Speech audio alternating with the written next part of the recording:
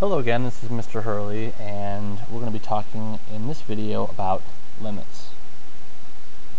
You can see here I've got just some random function f drawn and you can see the blue point that I've highlighted, in other words when x is 5 the output of the function is 2.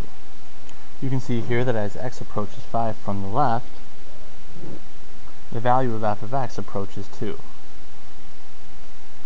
So therefore we can say that the limit as x approaches 5 from the left of f of x is 2.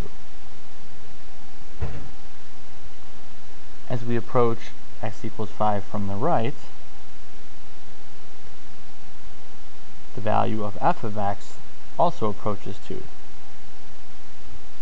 therefore we can say the limit as x approaches 5 from the right of f of x is equal to 2.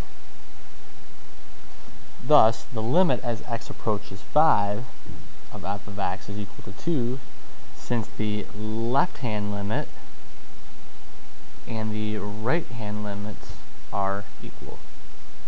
So that's a basic example that illustrates an informal explanation of what a limit is, but what if the functional output is something other than 2? In other words, maybe we have a hole or some sort of break in the graph. So here's another example. In this situation, there's an there's a hole in the graph at the point negative 2, 3. And so we want to know what the limit is as x approaches negative 2 from the left and from the right. So again, even though the function g is not defined at negative 2, limits are all about closeness. So again, as we move along the x-axis here and approach negative 2 from the left, you can see that the output of the function is approaching 3 even though it doesn't actually hit it.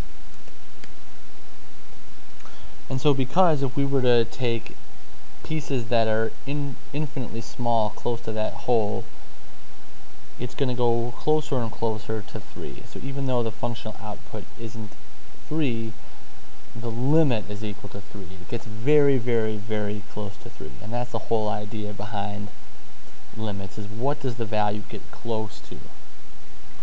Now as you approach it from the right side you can see the same thing happening. Again as we go along the graph of g it's getting closer and closer to 3 doesn't actually pick up 3 but it gets so infinitely close to it the limit as x approaches negative 2 from the right of g of x is equal to 3. Alright, and just to finish this off, our one-sided limits are equal, the right-hand limit is equal to the left-hand limit, and so the two-sided limit, the limit as x approaches negative 2 of g of x is equal to 3.